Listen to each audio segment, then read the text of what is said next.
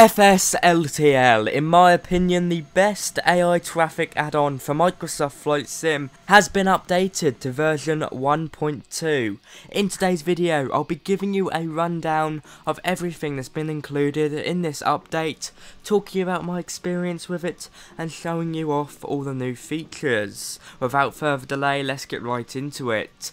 Okay, so first off to install it, it is incredibly easy. Head over to the fly-by-wire installer and just click on the FSLTL base injector and you'll be able to update it from there. You should see an orange update button. Click on that and within a few seconds it should have successfully updated. Head over to your Microsoft Flight Sim community file and verify everything is all there as expected. If it's not in your community file then obviously it hasn't installed properly or updated properly, so just make sure it's in there. Then all you need to do is load up Microsoft Flight Sim as per normal, and for those of you that haven't tried FSLTL before, you can go into your traffic settings via the settings menu and turn Microsoft Flight Sim's AI traffic to off. You don't need that on for FSLTL to work.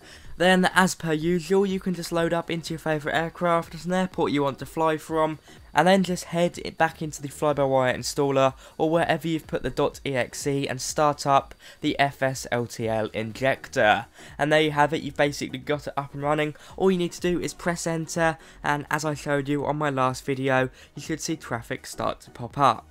Now this is where version 1.2 comes into effect, because from this point on, if you want to change some of your settings, you don't actually need to head back into the injector. You can just head into the integrated menu, which you can find in Microsoft Flight Sim's toolbar.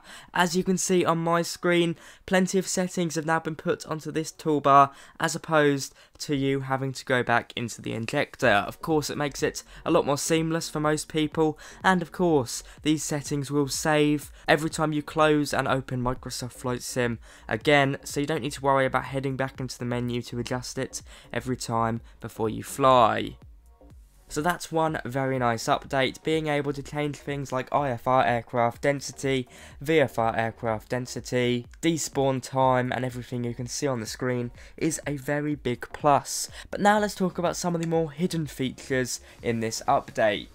Okay, so we'll start off with something that should improve your performance if you use it right. The FSLTL team have adjusted how aircraft spawn, so when you're flying on the ground, 50% of the aircraft FSLTL injects in will spawn on the ground, with the other 50% spawning in on the air. This of course means when you're taxiing around and taking off, you'll see plenty of parked up and moving aircraft on the ground. Now once you start to climb climb and climb above 10,000 feet, this ratio will change. It means that 75% of the aircraft will now be in the air, with the remaining 25% left on the ground. This means, of course, despite what you've set your IFR or VFR aircraft limit to be, you'll see more aircraft in the sky and less aircraft on the ground. Go above 20,000 feet, flight level 200, and this will swap over to 100%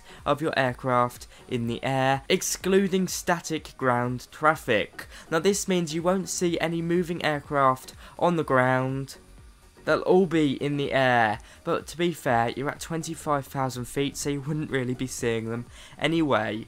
Now this means you can actually lower the amount of aircraft you have, um, whether that be IFR or VFR, and you can still see pretty much the same amount, because of course it's not evenly split on the whole anymore, or whatever the previous ratio was. It means that if you're flying high, you'll only see aircraft in the sky, which to be fair is where you need to see them, and if you're on the ground, of course, it will be an even split. It's a pretty ingenious solution because it means while you're having exactly the same amount of traffic, numerically, you're seeing it where you want to see it. Now this may mean your skies feel a bit busy, so feel free to lower it down either by going into the inbuilt toolbar menu or the injector. And of course, as you lower the amount of aircraft down, because you're seeing too many or you've got a good balance, your performance will improve because your CPU is under less stress. A very, very good solution and a fantastic update to see. There's also some other things added with this update. I've already talked about the InSim toolbar being greatly expanded. This will have real-time effects, so if you're sat there looking at a big airport and seeing plenty of traffic on the ground, you move those sliders about and things will change right in front of your very eyes. No need to reset your injection and then inject again. On top of that, model matching has seen a massive improvement in terms of how fallbacks work. FSLTL will first choose its products as priority. This means FSLTL models and liveries will be selected first with the software attempting to match it up to Flight Radar 24 data. If that's not possible, for example, with A380s, and you've still got some AIG models installed, or some other products like Aerosoft's Simple Traffic, then the fallback will move over to that way. So theoretically you could see plenty of aircraft types because to be fair the one limitation of FSLTL is that some aircraft types don't exist within the software just yet. So you'll always be able to fall back on other AI traffic software in this case. And then finally if there's none there which to be fair I cannot think of a single aircraft that would fall into that except maybe some smaller private jets and regional jets. Then it will go over to a default or base blank aircraft or blank livery.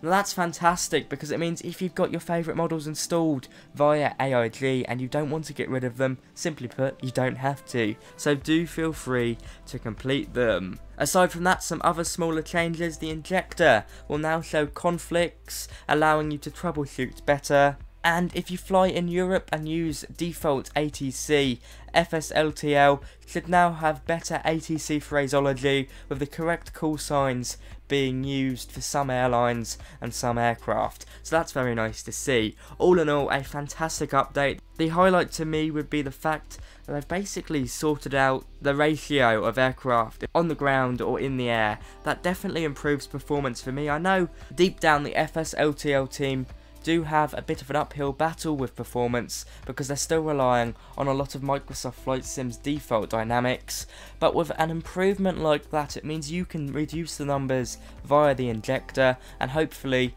see a big improvement at a minimal loss. So it's great news. You can find their Discord and their website in the description. One thing I forgot to say as well, with the new ratios, aircraft will now also prefer to spawn in front of you when you're in the climb as opposed to behind you. That once again is a performance thing because if aircraft are spawning in behind you, chances are you're not really going to see them, so you might as well take your numbers down and prefer for them to spawn in front of you. So it makes complete sense in that regard. From me today, that is all. Thank you so much for watching. Thank you to the FSLTL team. Version 1.2 is fantastic. I look forward to many more updates. From me today, be sure to like, comment and subscribe if you enjoyed and be sure to subscribe to stay up to date with the most important Microsoft Flight Sim news, add-ons and reviews and some aviation content as well. My Amazon affiliate links for all the stuff I use to fly, film and edit are down below. Have a good one guys. Bye bye.